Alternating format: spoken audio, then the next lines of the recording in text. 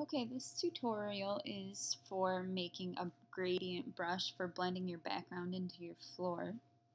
Um, first off, I have a full resolution image here, which is too large. Your brush can only be up to 2500 pixels wide. So the first thing that I am going to do is go into Image, Image Size, Pixels, 2500 on the long side and then I'll hit OK. Now obviously you won't be resizing your image. This is just for the purpose of making the brush. Um, once you have your brush made, you can put your image back to the normal size and then enlarge your brush to make it work on your image. But for now, we have to have the image at 2500 pixels to make the brush. And I just used an image with a floor um, pretty much in the standard spot that it normally would be with any picture. So then my brush will uh, gradiate for uh, an average size background.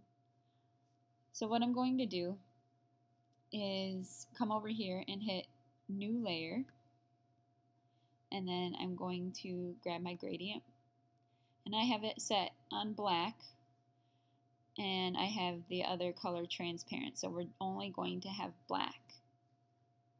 Black is on top.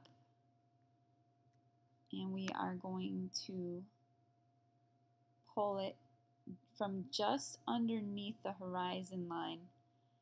You hold shift while you pull down. And I'm going to pull it just below the bottom of the picture and let go. And you can see that that gradiated pretty nicely.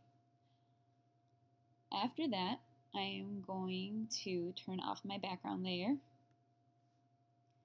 go to Edit, Define Brush Preset, and I will call this great, uh, how about background fade? Background fade sounds good.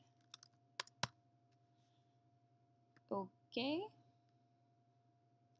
All right, so now I'm going to turn that off, turn my image back on, just so we can try it out. I'm going to hit my brush tool, and you can see my new brush has automatically shown up in my brush palette here. So then the next step is to just, um, we're going to make another new layer to brush this uh, fade onto. And we're going to hold the Alt key to select a color from around the floor that you think will fade nicely. I'm going to hit a nice light color on the floor here and then I will line this up. Right now it's lined up pretty perfectly for what I need for my image because I made it on this image. Now you can line it up whatever way you need it to uh, per specific image. Alright, so I'm going to lay it on there and just click once add a layer mask. I'm going to grab a soft round brush um, just because I'm going to do a quick cleanup. You might want to have a harder brush to clean this up right. But I'm just going to use a soft round brush to make it quick. And there we go. You can see a little bit of my edges because I'm doing this quickly, but obviously you would take more time and care to keep those edges nice and clean when you're doing it yourself for your image. But it really is that simple. Now you have a background fade and you can make it any color you want. We can do it again. We'll do a different color. So say we wanted to do it red. There we go. We'll go down here, click our gradient, and come over here and we'll make the background red. Again, mask it, soft round brush.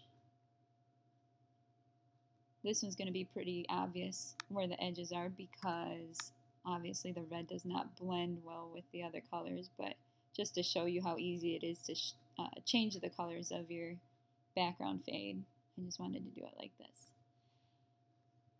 So there you go. Obviously you wouldn't do that, but this one worked really well.